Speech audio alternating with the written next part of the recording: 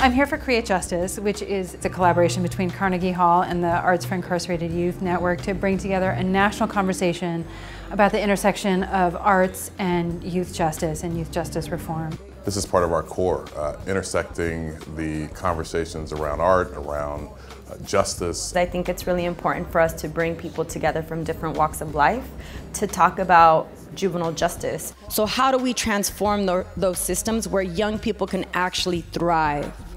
No one should ever be known for only the worst thing that they've ever done. We need to think about designing systems that don't end up in incarceration. A world without prisons is possible.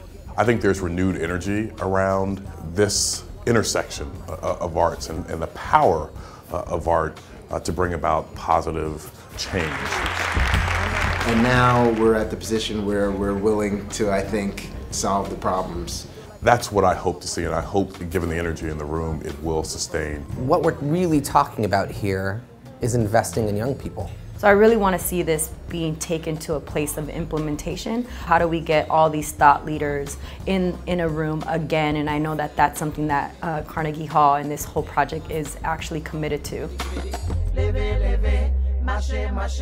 New York City,